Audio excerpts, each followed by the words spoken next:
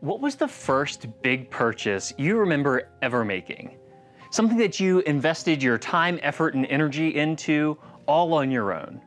Remember that for me, it was my my first bike that I paid for myself, right? It was it was called a Huffy Stone Mountain, and this thing was in my head perfect and gorgeous. I had scrapped and tried so hard to to come up with the money to buy my very own bike and and you know wheeling it out of that Toys R Us, I felt on top of the world. My head had all these great ramps and jumps that we were going to build as we kind of got into everything. And uh, the the two things I really remember about the bike is number one, it had this really rad like green fork on it, and number two, that green fork was the only good thing about it. The rest was a disaster, right? Like I could never find a gear. The brakes only started to stop you after they had heated up so much that the nasty hard plastic decided that it was to give way to the rims. Like it was awful. It was a disaster. But I tried again. And that next time, I at least knew what I didn't want. And that next bike, it was called a Giant, was the brand Iguana. And man, I rode that thing hard, like into the ground. I loved that thing. It was amazing and it taught me so much about what biking could be to the point that I kind of, my riding outgrew that and I purchased uh, my, my third bike and, and was all over it. And this time I went from knowing what I didn't want to actually knowing what I wanted in a bike. Now, I could have stopped with that with that Stone Mountain Huffy that was just a nightmare, but I would have missed out. I would have missed out on, on so much. Biking is a part of who I am, and to think that that could have stopped because of this one bad experience is hard. And then there was my drum set. My drumming career is a fabled legend, I know, I know, but but where I, I invested and invested in this thing, whether it be the first little kit that I had or then the second one that I just kept adding on to and upgrading and thinking that that the upgrades would make me sound better and, and all this stuff. But the reality was is I just didn't enjoy playing. And so I would add more stuff. And, and the final chapter of my drumming career was to sell the drum set for a kayak. My relationship with drumming wasn't so great, but boy, my, my relationship with kayaking started out a career and it was so fun. But have you ever had an experience like that, an experience of joy or, or remorse about something that you have purchased? I think we've all been there. But sometimes the risk of investment is not worth it.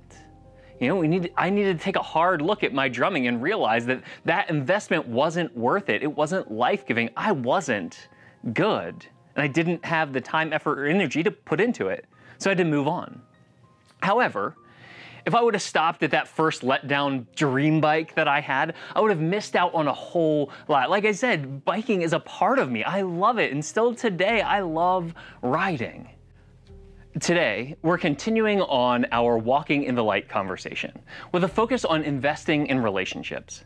And not to put too fine a point on it, but people are always worth the risk of investment. You're going to hear that from time to time today. Now, previously we've mentioned that each and every one of us has a pulpit and that daily we are preaching some kind of good news from that pulpit, hopefully something that's life giving to us, right? And the risky business of investing in those relationships allows us to extend the reach and the voice of our pulpit to places that we may never set foot. And that the, the good news that we're proclaiming will continue long after we're gone through the relationships that we invest in. Investing in relationship is always worth it because we have been shaped for relationship. We are wired for relationship, and our legacy depends on the relationships that we build that will well outlast us. And so let's look at our scripture today. Now, it's a familiar parable about discipleship, and, and much focus has always been spent on talking about the condition of your heart being like the soil, so that the seeds that the farmer throws out, the farmer being God, you know, uh, may, may take root and might grow. And today I want to take a little bit different angle at this scripture. So let's pause and think about this from God's perspective for a minute. God is, is out in the field sowing seeds everywhere. And the seeds of discipleship fall on all kinds of soil. And only about one fourth end up producing a crop. How do you think that farmer feels about all that work and all that sweat only to have three quarters of the seeds not come to fruition? Probably frustrated, right? You know, no matter the reason, the investments that God made to be in relationship with us don't live up to the full potential sometimes. Now, this isn't a message of shame, okay? So just hear me out, but but think, would you give up or keep going at this point? Well, good news for us is that God continues on. God continues to make a way and invest in each and every one of us because God knows that people are always worth the risk of investment. Also, when a relationship does take root, when it is healthy, transformation can take place and there can be exponential growth. We've each, every single one of us, been made in the image of God. In part, this means that we've been shaped for relationship, that God is all about relationship. And it's clear that the Trinity and early parts of our scripture point to the fact that we have been shaped to be with one another too. We've been shaped for relationships by God. God has gone above and beyond to keep the means of relationship open to us and modeled what investing in people looks like throughout the totality of Scripture and most clearly through the person of Jesus. God has shaped our hearts to be in relationship with one another. But um, it's not just being shaped by relationship that we've, we've been made for, but, but also our biology is wired to be in relationship with one another. Now, there are a ton of studies out there that kind of point to this, but I want to share one with you from 1938. It's a Harvard study.